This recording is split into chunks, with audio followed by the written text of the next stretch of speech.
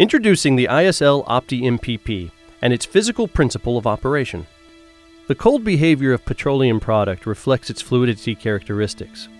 The extent to which oil can be safely chilled and still flow is indicated by its pour point.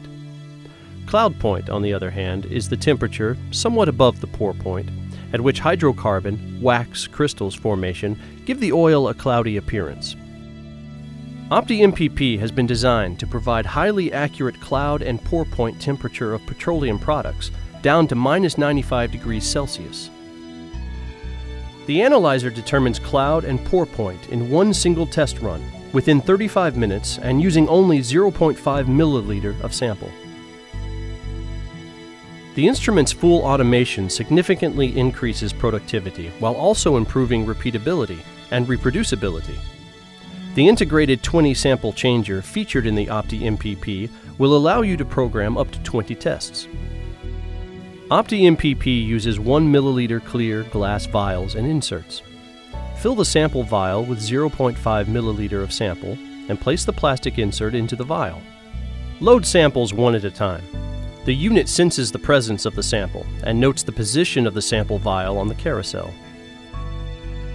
The sampler screen will prompt the user to add or remove the sample. You can also set the sample type to normal or priority. Priority samples will run as soon as the current sample test is completed. Up to 20 samples can be stored in the sample changer. The sampler screen visually shows the user the status of the samples in the sample changer.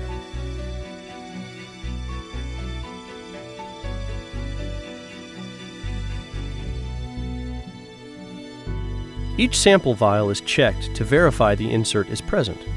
Opti MPP will not test a vial without the insert. A vial without an insert will move back to load position and the user will be prompted to add an insert. The lift plunger and the test arm are lowered until the sample vial is positioned inside the cooling jacket. The lift plunger lowers further, allowing the test vial to rest on the bottom of the cooling jacket. The pressure sensor assembly moves into position on top of the insert, making a tight seal with a chemical resistant O ring. The cloud point and the no flow point can be measured at the same time. When the sample vial is in the test position, the light on the cloud point detection assembly turns on. The differential pressure sensor is activated. Pressure is measured at ambient temperature at the beginning of the test. As the temperature drops, crystals start forming at the bottom of the test vial. The temperature at which the crystals appear is the cloud point of the sample. As the sample cools, the volume of the sample decreases, creating a slight vacuum in the headspace above the sample, which registers as a pressure decrease. The temperature at which the viscosity of the sample is too high, and the volume of the sample no longer decreases, is called the no flow point, which is also related to the pour point. A typical chart of the optical signal and the pressure detection sensor looks like this.